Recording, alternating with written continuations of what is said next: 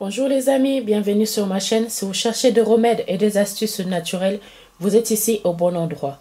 Je vous invite à vous abonner si vous ne faites pas encore partie de cette belle communauté.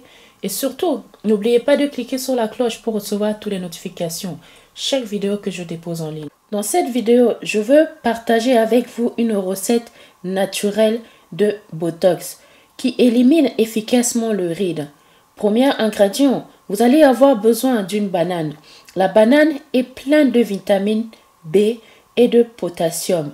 Vous allez enlever la peau de la banane et l'écraser avec une fourchette, comme vous me voyez faire ici.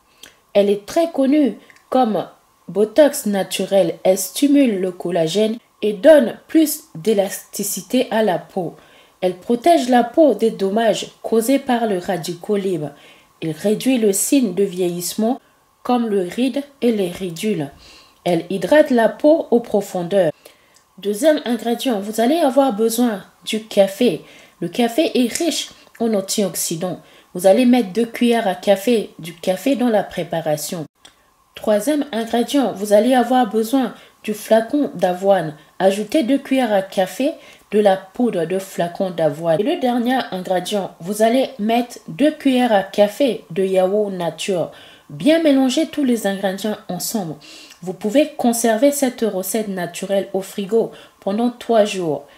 Appliquez cette recette partout sur la peau du visage ou le corps et laissez reposer 20 minutes et rincez à l'eau tiède. Puis, finis le rinçage avec de l'eau froide. Hydratez votre peau avec votre crème habituelle ou l'huile que vous utilisez habituellement. Ceci est à faire trois fois par semaine. Aimez la vidéo les amis, partagez avec vos amis, la famille et tout le monde. Et si vous ne faites pas encore partie de cette belle communauté, abonnez-vous. Cliquez sur la cloche pour recevoir toutes les notifications, chaque vidéo que je dépose en ligne. Je vous fais des gros bisous. Je vous dis à très bientôt pour une prochaine vidéo.